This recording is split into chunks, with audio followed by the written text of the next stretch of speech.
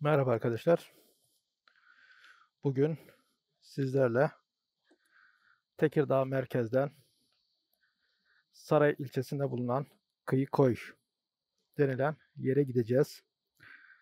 Yolumuz 105 kilometrelik bir mesafeye sahip. Bu süreçte hem yol hakkında bilgi vereceğim hem e, yolun görüntülerini sizlerle paylaşacağım. Hem de bundan sonraki videolarımızı e, motovlog tarzında çekip sizlerle paylaşıp sizlere Tekirdağ bölgesinde, Trakya bölgesinde gezilecek, görülecek yerleri detaylı bir şekilde anlatmayı amaçlıyorum. Ara ara mu- muhabbet ederiz. Ee, sorularınız falan olursa yorumlar kısmından yazarsınız. Veya gezmek, görmek istediğiniz Trakya bölgesindeki yerler varsa yorumlar kısmından e, ifade ederek, aktararak bildirirsiniz. Oralara da gideriz. Oralarda hep beraber ge- gezip görürüz.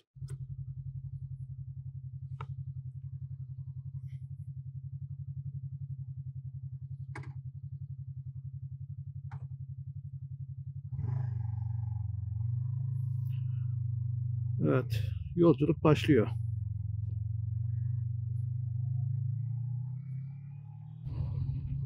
Bu arada kullandığım motosiklet Watch 500 DS olarak geçiyor. Çin malı bir makine. Motorla ilgili çok fazla bilgi aktarma gereği duymuyorum. Ee, isteyen arkadaşlar ilgili e, motosiklet tanıtım videolar falan var. Oradan e, bakarlar. Özelliklerini şey yaparlar. Ben genel olarak e, motosikletimden memnun olduğumu ifade ediyorum. 500 cc'lik motor çift silindir. Bu da e, turlarda, gezilerde rahatlıkla beni tatmin ediyor.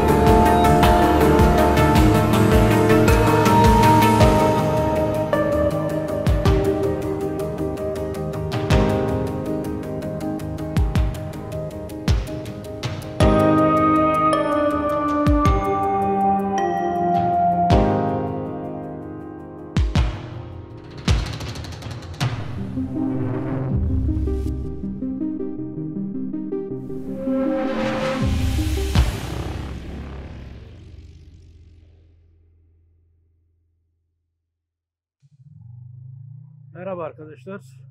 Şu anda Ergene tarafındayız. Çorlu'yu geçtik. Saraya doğru gidiyoruz.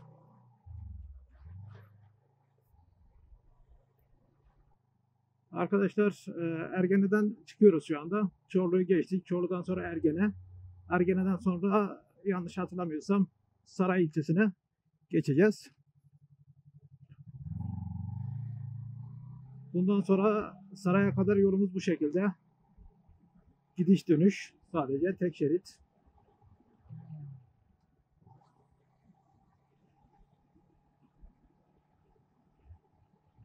Bu arada hava 37 derece sıcaklık var şu anda.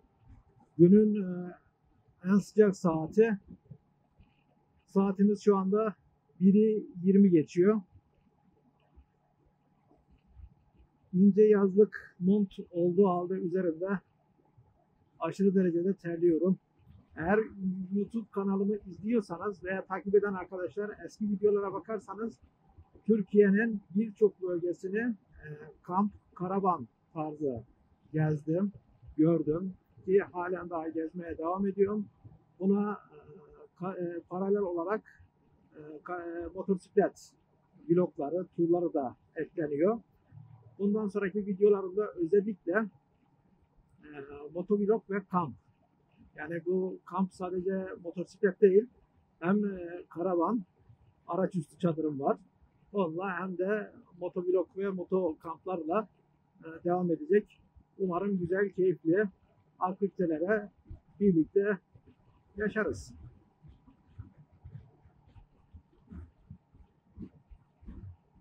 Çok hızlı gitmiyorum. Hem ses kalitesi bozulmasın hem de amacımız gezmek, e, doğayı rahat rahat gözlemleyerek, inceleyerek gezelim. Ve size tavsiyem e, aracınızda olsun, motosiklette olsun geziyorsanız lütfen çok aşırı hız yapıp e, kendinizi sıkıntıya, tehlikeye sokmayın. Anın tadını yaşayın. Yolculuğun keyfini çıkarın. Motosiklet yolculuğu gerçekten güzel, keyifli. İnsanı rahatlatıyor, dinlendiriyor. Çoğu insan şeytan işi olarak görse de e, son derece keyifli, huzurlu ve güzel. Tek yapmamız gereken dikkatli olmak ve trafikte fark edilmek.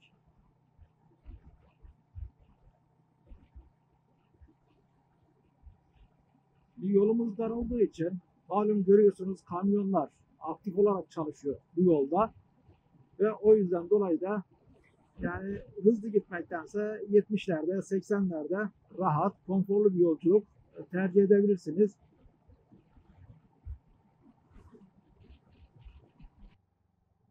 Özellikle bu yolu tercih etmemdeki amaç, daha doğrusu bu yolları, e, otobanlarda trafik yoğun oluyor ve e, keyif alacağınız, daha doğrusu çevreyi izleyeceğiniz, doğayla baş başa kalacağınız ortamlar az oluyor. Ben de o yüzden genelde rotalarımı iç hatlardan seçiyorum ve böyle tali yollardan daha çok doğayla baş başa kalabileceğim güzergahları tercih etmek istiyorum. Çünkü e, şehir yaşantısı içerisinde bulunan bizler e, sürekli o trafikte, o yoğunlukta yetesiye kadar yoruluyoruz. En azından böyle hafta sonları veya uygun vakitlerde doğaya biraz daha açılabilmek, doğada kendimizi bulabilmek adına e, biraz aktiviteler yapmamız gerekiyor.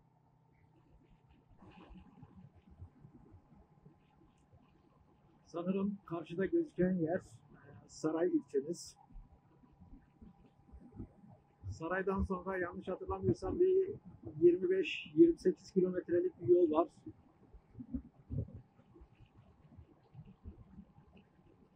Bakalım yolculuk nasıl olacak. Ama e, şunu söyleyebilirim.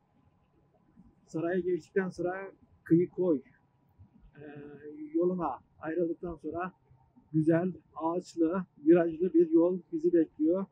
Bunu sizlere ifade edebilirim arkadaşlar.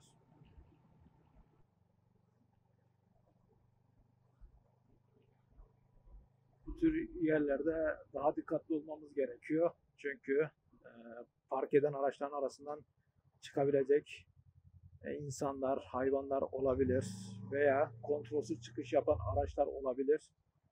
Bunları da göz önünde bulundurmak lazım. Evet, bahsettiğimiz gibi bir kaza durumu söz konusu. Çünkü yol aşırı kalabalık, kapalıydı. İşte yol boyunca bahsettiğim durumlar bundan ibaret arkadaşlar. Dikkatli olalım, sakin olalım, takip mesafemizi koruyalım. Ya üzmeyelim, üzülmeyelim. 2 saniye kuralını hiçbir süret e, olsun unutmayalım yani. 2 saniye kuralına göre hareket edelim. Her zaman önümüzdeki aracın en kötü ihtimalini düşünerek yolculuğa devam edelim. Görmez Kanyonu, kıyı koy yol üzerinde. Ortalama bir 6 kilometre yolumuz var. Yol eğer çok bozuk değilse girmeyi düşünüyorum arkadaşlar. Oraya uğrar, oradan yolumuza devam ederiz. Zaten e, şu an itibariyle kıyı koy e, yoluna girmiş bulunuyoruz. Farklı bir yol daha varmış. Bilmiyorum ben mi ters geldim. Bu taraf mı haritalarda yoktur.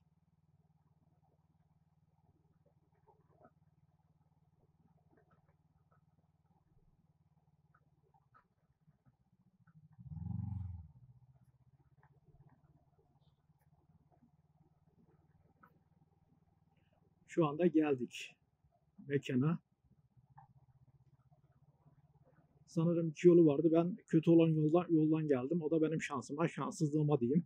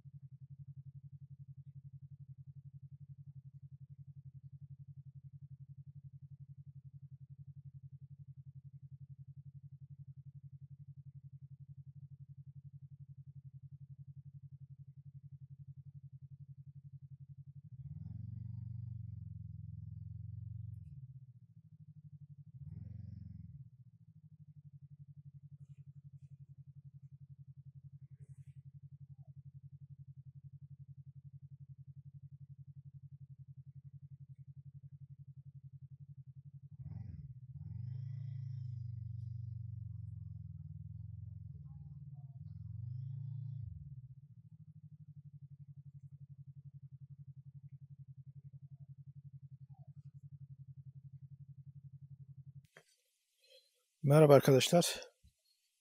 Gün Görmez e, Kanyonu'na geldik. Burası Gün Görmez Kanyonu. Ve videoda da gördüğünüz gibi bir dağın yüzeyi, tepede üst taraflarda ağaçlar falan var. Yeşil ağaçlık bir alan. Şöyle aşağıda ne var? Sanırım su birikintisi olabilir. Bir bakalım. Evet, su var. Göründüğü kadarıyla. Erken gelenler yerlerini almışlar. Yerlere ağaçların altında kalmış. Ve böyle bir mekan. Şu tarafa baktığımız zaman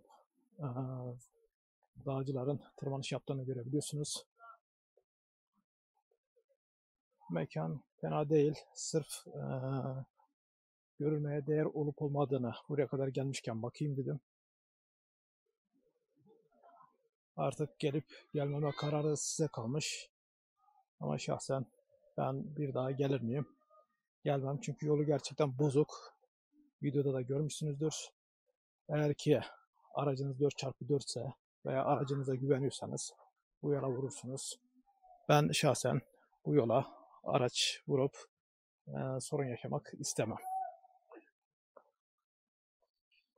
Mekan burası. Bu şekilde artık e, diğer düşünceler, yorumlar, görüşler size kalmış. Tabii ki gelip gelmeme durumu da e, görecelidir. Fakat buraya geleceğime biraz sonra gideceğimiz nasipse kıyı koy tarafına gitmeyi e, tercih ederim arkadaşlar.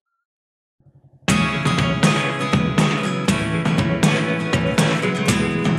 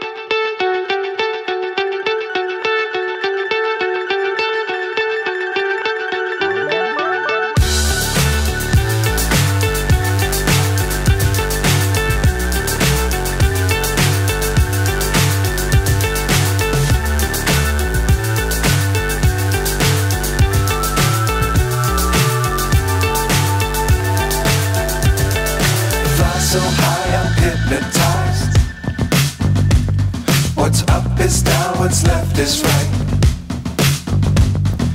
Chasing stars and holding you. I can't see the end, but we'll see it through.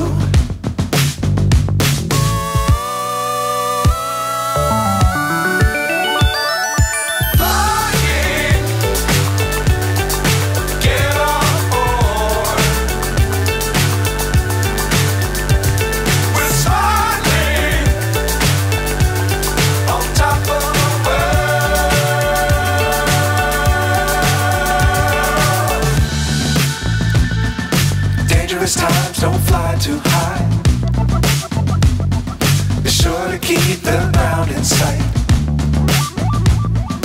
Fly forever if you keep it tight. Love the world, but keep the sky on your mind.